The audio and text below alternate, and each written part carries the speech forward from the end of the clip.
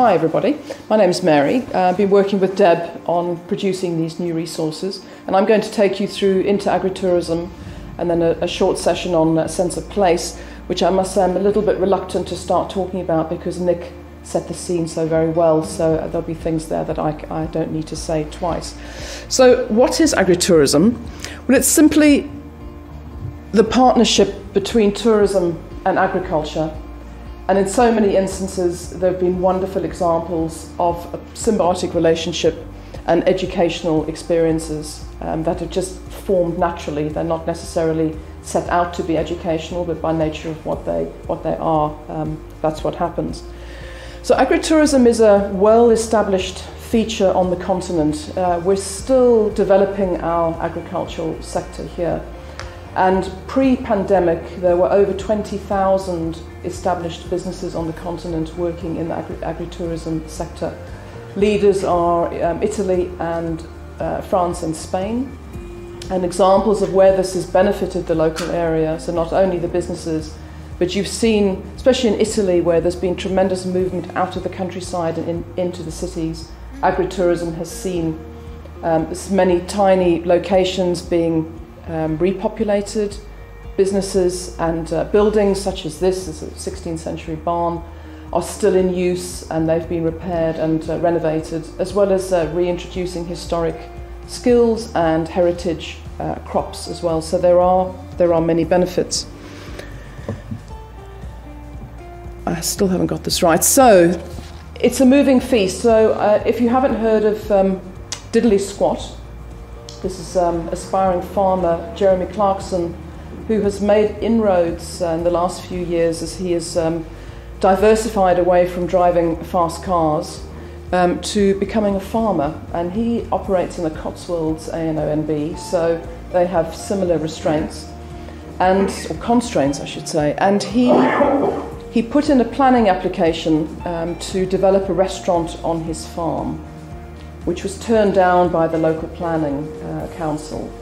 And it's an interesting, I included it today because it's an interesting example of a, a dynamic situation. He's actually reapplied, they've made the changes. But what had happened was the, the local community were not particularly happy with the huge influx of cars and people and non existent traffic management and visitor management because people were very keen to buy his potatoes.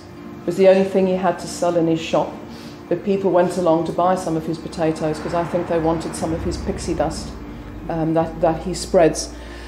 The converse was that the, the businesses who were aiming to supply into his restaurant were very unhappy with the planning application because there was a baker who was hoping to supply baked goods, there was a dairy farmer, there were locals who were hoping to be employed and to work on the farm. He's since uh, made adjustments uh, to, to the application. It's gone back in. I'm sure he will get it. I think it will be an asset for that community. But there's a delicate balance between inviting people into an area that maybe is not quite ready or the host community hasn't been consulted uh, in something that you're trying to do, no matter how noble the cause.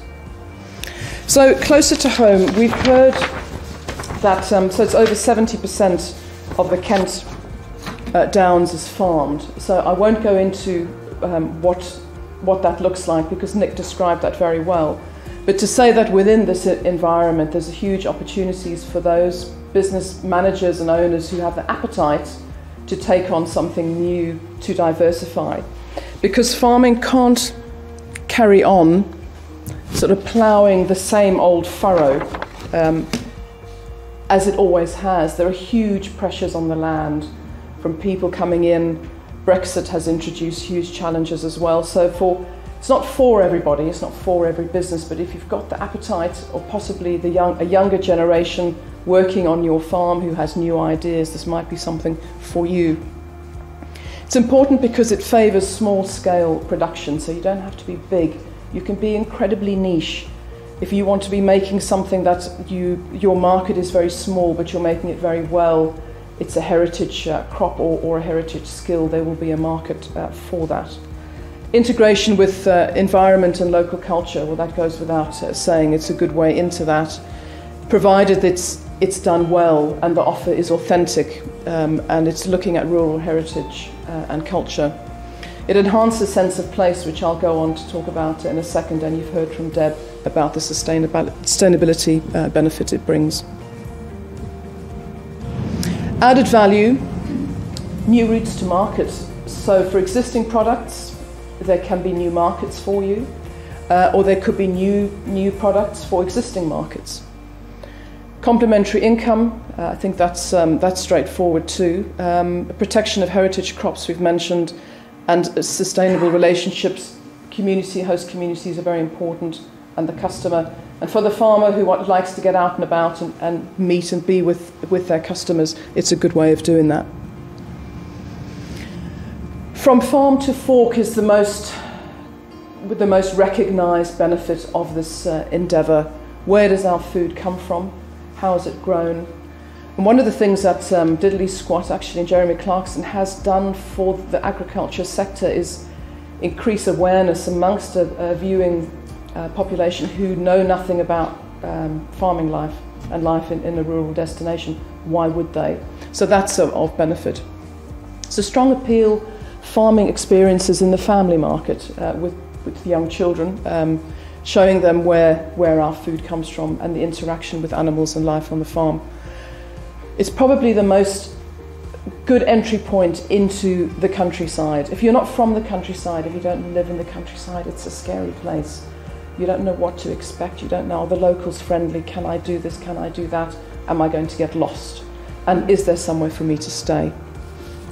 Because increasingly, we all need to get out of the urban, our urban lives and into the rural uh, countryside.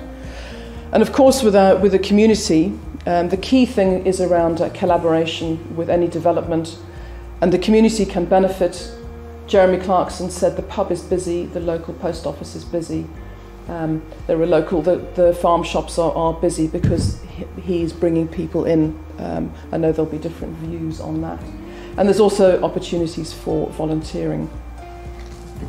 So, got a couple of uh, case studies here. So, Wye community farm? Um, they're a, a local um, community farm and they focus on uh, wool and they're developing uh, new experiences. I was talking um, earlier.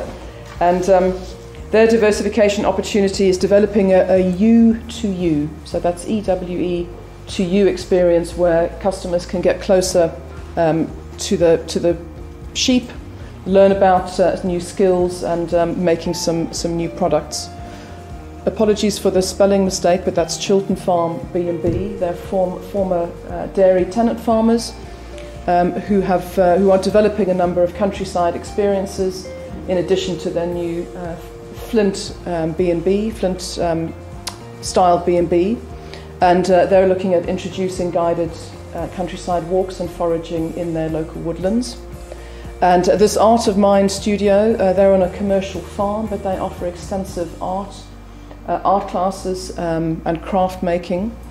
And Beachborough Park, uh, they've got 90 acres, I believe, of countryside, a stately home um, and they're also looking at diversifying, offering accommodation and interactive um, activities on there.